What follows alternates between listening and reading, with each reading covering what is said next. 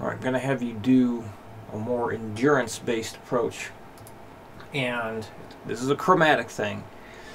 so it's not the most interesting thing musical, but the idea is not to really think too much about what the left hand's doing. It's about the right hand. So you're just climbing up an octave, back down an octave. And then you're going to switch the pattern so you start with basically what you were working on uh, from March. You got, you know, going down to the lower string at the end of the reverse gallop, do all that, and then you're going to do the go up to a higher string at the end of the reverse gallop. So I'm going to play along to this on screen here.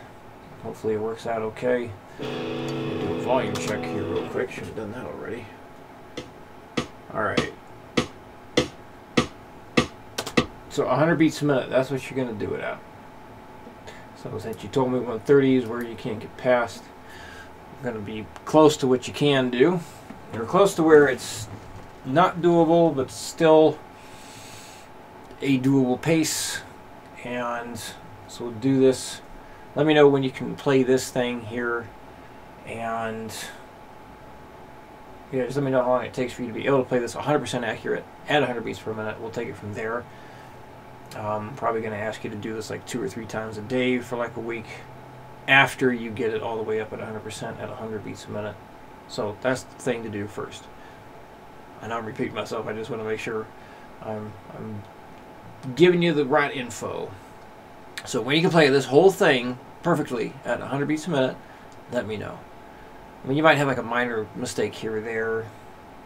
Your mind might drift a bit when you're doing this because it's pretty lengthy. But yeah, just let me know when you get it up. And then, so this way I know how long it took, how many days it took you to do so. And yeah, we'll take it from there. So here we go, 100 beats a minute, the whole thing. Let's see if my mind can focus on it enough to not goof it.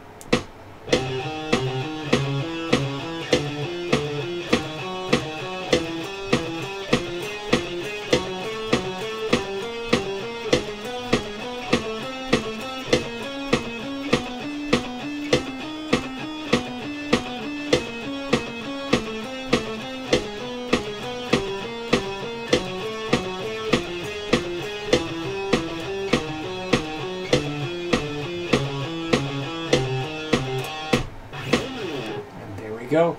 All right. Let me know if you got any questions, and I will talk to you soon.